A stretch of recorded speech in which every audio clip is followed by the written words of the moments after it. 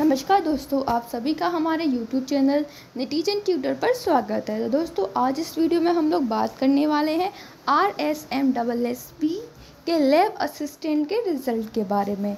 Video शुरू करने से पहले अगर आप हमारे चैनल पर नए हो तो किसी प्रकार के जॉब अपडेट वैकेंसी अपडेट या रिज़ल्ट अपडेट पाने के लिए आप हमारा चैनल नटीजन ट्यूटर सब्सक्राइब करें और हमारे साथ जुड़ जाएँ, ताकि आने वाला कोई भी न्यू अपडेट आप तक पहुँच सके।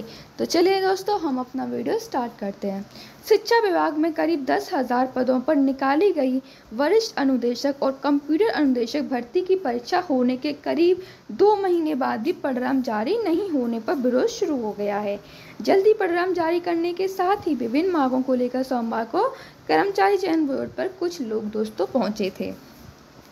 कंप्यूटर अनुदेशक भर्ती का परिणाम जल्द से जल्द जारी करने के साथ ही 40 प्रतिशत की अनिवार्यता की बाध्यता में स्थिरता दी जाए।